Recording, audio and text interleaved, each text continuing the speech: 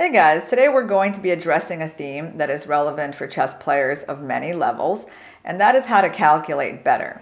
And for that, we're going to be using an example from one of Vasily Smyslov's games, in particular, a variation from that game, not what actually happened. So he was playing Karol Opocensky, 1946, and he'd sacrificed a pawn with the white pieces and he has some open files for his rooks, knights in the center, but black also has quite nice presence in the center with the pawns and the minor pieces are centralized as well. So it's a very um, unbalanced but balanced position in a way as well. Both sides have their strengths and weaknesses. So Opocensky decided with the ambitious move h5, pushing the pawn and trying to open up a file for the rook by going h for next. Very natural idea, and in fact, I had some students who also thought of that. And in the game, Smyslov played his knight to f4. Makes a lot of sense, but I had one student who decided to put the knight here, and black just kept going. They didn't really pay too much attention to this knight move, and they just kept going with h4. And so this is the position that we want to take a closer look at because I would say that a lot of my students feel quite adrift in this position, and it is pretty complicated. The first thing I think is that people tend to get very afraid about the events on the H file, right? The fact that black is trying to open up a file there, that they've got their rook lined up with our king, it definitely looks menacing, and people start thinking about defensive moves to try to uh, get rid of that threat so they can think about things like moving in their queen, which it might look also kind of active, or maybe even pushing the pawn, right? But what people forget to do is actually to go back to the basics of chess calculation. How is it done? I mean, do we defend just because we're being attacked? Or do we still follow the rules of the thinking process that tell us that the first step to finding moves in chess is to look for checks, captures, and threats. Right? It's, the first step is not make defensive moves. The first step is to find your own attacking ideas. Now, you have various checks in this position, you have various captures, and let's not forget that Black's king is still in the center, right? That's always a possible source of vulnerability. So White has captures on b7, captures on f5, um, capture here, which, you know, not particularly good. Maybe an attack on the black queen with the knight from b5, right? So definitely lots of attacking things to look for for white. And so the problem is, the first problem is that people just tend to not even look in that direction because they're so busy trying to defend against black's obvious play on the h file.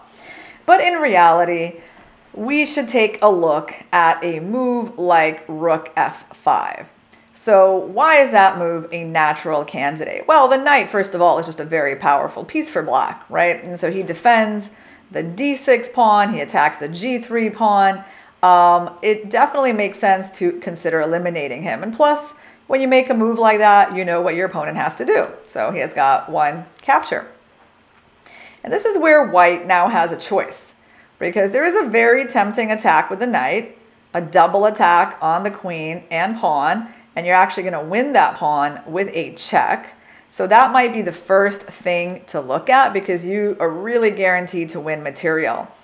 Um, but when you look closer at that line and you do wind up taking the pawn with one of the knights, you realize it's not actually the end of the world for black. His king on f8 is pretty safe he's still up material. He's up that exchange that you sacrificed. Your knight on e4 is under attack. He can't really move easily because there's also this knight. And then there's that threat still lingering in the position. So basically, this is not the way to go for white. But fortunately for white, they have a different option in this position. That is knight d5. So yeah, not trying to win a pawn, but plopping their knight on a very aggressive square in the center of the board The black queen is an incredible danger. There's a lot of places that she just can't go to, like c8 or d7, because they're going to be forks by the white knights, either from this square or this square. So the only move is queen d8. And then, again, instead of moving this knight away just because it's attacked, we look for our attacking moves. And we bring in another piece into the game. And now the black queen is in big trouble again. And black must do a move like that. Now, of course, you can already feel, I think for an experienced player, it's, um, it's quite evident that things are going badly for black's king.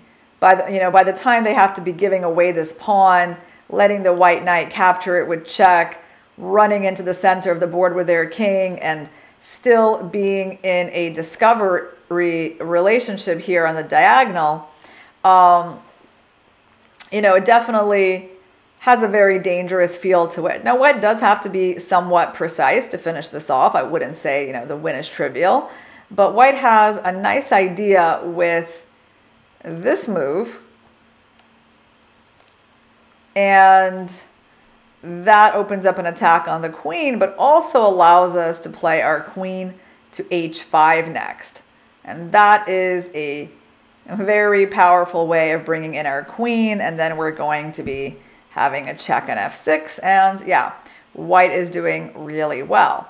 So let's just go back for a second, guys, and review the right way to approach um, any kind of position, but certainly a position that has lots of open files, um, lots of contact between your pieces and theirs, kings that are a bit insecure, um, where there's lots of captures as well, right? You really got to make your list of forcing moves.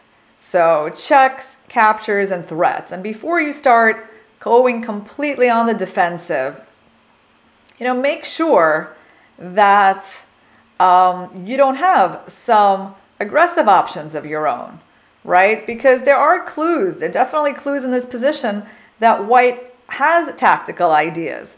Like, you know, the beautiful knight in the center of the board that is uh, hitting um, the d6 pawn, right? Like the rook on the open file, on the f file, the other rook, the possible weakness of this square on d6, right? There's, you know, the king in the center even, right? All these elements that you don't want to be oblivious to. And they tend to signal that there are tactical opportunities in the position. So if you want to find your tactical opportunities, guys, make sure that you are prioritizing checks, captures, and threats in your calculations no matter what the situation, even if you feel that you're getting attacked, you're seeing some looming problems, before you go on the retreat and decide that that's all the best you can do, look at your forcing moves and maybe you're going to find some better options.